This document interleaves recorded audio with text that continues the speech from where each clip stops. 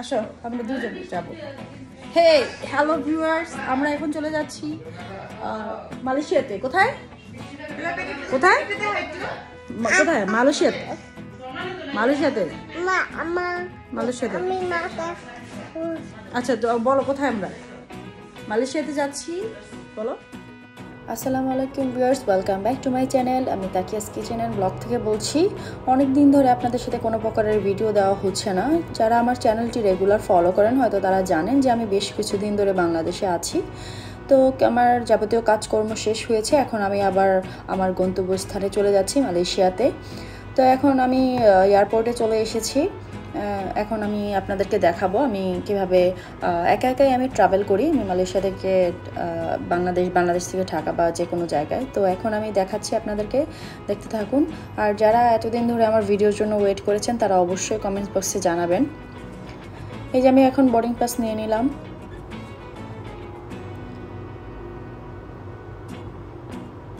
Boarding pass নেওয়ার পরে আমি এক এক সময় এক এক এয়ারলাইন্সে যাই, তো আমার এই জিনিসটা খুবই ইন্টারেস্টিং লাগে। কারণ বোর্ডিং পাস নেওয়ার পরে আপনার প্লেনের জন্য যেতে হয়, তো একটার পর একটা চেকিং বা তারপরে হচ্ছে বাকি কার্যক্রম।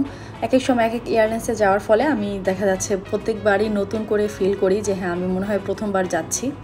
বাট এই যে এখন আমি গেট নাম্বার আমার টেন এইটে ছিল, তো আমি এখন একটু আগে এদিক দিয়ে নেমে গিয়েছি কিন্তু সামনে আরেকটা ইয়ে ছিল, ওদিক দিয়ে গেলে তাড়াতাড়ি হতো।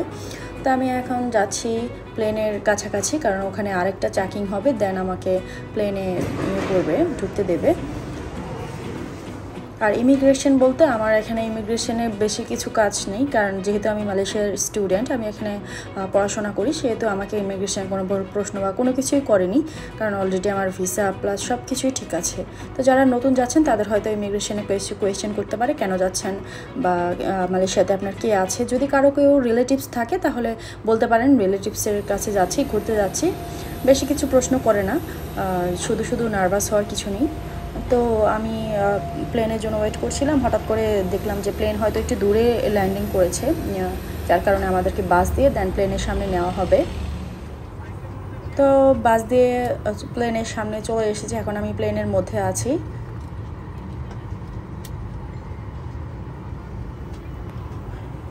আমি সবসময় প্রেফার করি মালয়েশিয়া এয়ারলাইন্স তারপর হচ্ছে মালয়েশিয়াতে যাওয়ার জন্য এগুলোই হচ্ছে বেস্ট মালিন্দা বাট মালিন্দাটা রিসেন্টলি চেঞ্জ হয়েছে। এটা আগে মালিন্দা প্লাস ইন্দোনেশিয়া কোম্পানি ছিল বাট এখন এটা পুরোপুরিভাবে ইন্দোনেশিয়াদের আন্ডারে চলে গিয়েছে, তার জন্য এটার নামটাও চেঞ্জ হয়েছে। এখন এখন এটার নামটা চেঞ্জ হওয়ার কারণে অনেকে বলতে পারে যে হ্যাঁ মালিন্দা এয়ারলাইন্সে কোনো সমস্যা না। মালিন্দার কোনো সমস্যা নেই, এটা মালিন্দারই ছিল বাট এখন এটার নাম আরেকটা হয়েছে আর কি। বাটিক এয়ারলাইন্স প্লেন স্টার্ট হয়ে গিয়েছে, এখন কিছুক্ষণ রানিং করবে, তারপরে ফ্লাই করবে। তো এই যে ফ্লাই অলরেডি ফ্লাই করা শুরু হয়ে গিয়েছে। তো অনেকে বিমানে উঠতে ভয় পায়, আমি তাদেরকে বলব। আসলে বিমানে উঠলে আমার বাসের ফিল হয় যেন বাসেই আসি কারণ রাস্তাঘাট যদি ভালো থাকে, রাস্তাঘাট ভালো থাকলে বাস চড়লে যেরকম একটু ফিল হয় সেম অ্যাজ লাগে আমার কাছে এরকমই লাগে। কোনো প্রকার ভয় লাগে না। খুবই ইজি লাগে। কারণ অনেকবার যেহেতু ট্রাভেল করেছি, তার জন্য বলছি। তো এই যে বাংলাদেশ থেকে এখন বাংলাদেশের উপরে আছে, এই যে ভিউটা হচ্ছে বাংলাদেশের। দেখতে পাচ্ছেন আমাদের দেশও কিন্তু কোনো দিক থেকে পিছিয়ে নেয় মাসাল্লাহ খুবই সুন্দর লাগছে উপর দেখতে। বাইরের দেশগুলোতে জনসংখ্যা কম হওয়াতে আপনাদের বাড়িঘর তাদের একটু কম, যার কারণে একটু তাদের উপর থেকে আরেকটু গর্জিয়াস লাগে। কিন্তু বাংলাদেশও ডে বাই ডে উন্নত হচ্ছে। দেখেন প্লেনের উপর থেকে খুবই সুন্দর লাগছে।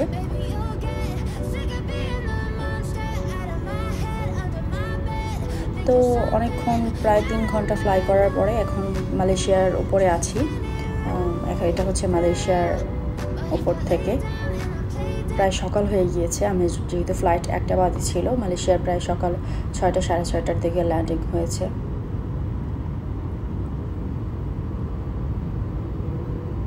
মালয়েশিয়াতে আসার পর আপনার কিছু স্টেপ আছে, সেখানে ইমিগ্রেশন প্লাস চেকিং ওটা করা হয়। তো যারা স্টুডেন্ট ভিসায় আছেন, তাদেরকে কোনো কিছুই আক্স করে না। যারা টুরিস্টে নতুন আছেন, হয়তো তাদেরকে কিছু আক্স করতে পারে, কেন আপনি তাদের দেশে যাচ্ছেন? বলে আপনার কি উদ্দেশ্য? কিন্তু আপনারা যদি সুন্দরভাবে বলতে পারেন যে হ্যাঁ তাদের দেশ ঘোরার জন্য আপনারা যাচ্ছেন, তাহলে আপনার মনে হয় তারা কোনো কিছু মনে করবে না। আর যারা স্টুডেন্ট আছেন, তাদেরকে তো কোনো প্রশ্নই করবে না। আর যারা ওয়ার্ক পারমিট আছেন, তাদের তো আলাদা তাদেরটা সম্পূর্ণ আলাদা। তাদের কোম্পানি সব কিছু ডকুমেন্টস ঠিক থাকলে তাদেরকে অবশ্যই ঢুকতে দেবে।